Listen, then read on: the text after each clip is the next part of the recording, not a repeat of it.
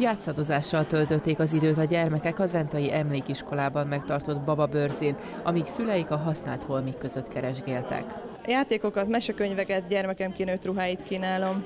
Mondja Máriás Annabella, aki sokakhoz hasonlóan rendkívül fontosnak tartja az ilyen jellegű rendezvényeket. Azért tartom fontosnak a bababőrzét napjainkban, mert újan nagyon sokba kerülnek manapság a játékok, és itt másodkézből sokkal könnyebben hozzájuthatnak az anyukák, apukák, családok a ruhákhoz, játékokhoz, mesekönyvekhez, bármihez. A bőrze iránt folyamatosan nő az érdeklődés az árusok és a vásárlók körében.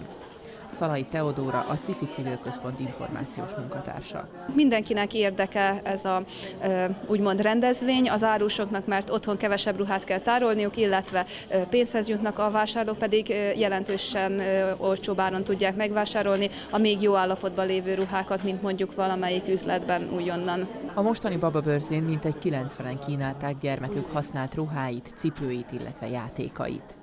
Zsoldos Ferenc, a CIFI Civil Központ elnöke. Jönnek már Kanizsáról, Adáról is, Szabadkáról is vannak árusok és látogatók. Ez inkább egy szociális karakterre rendelkező rendezvény, de nagyon fontos, hogy segítsünk az embereknek, amire szükségük van.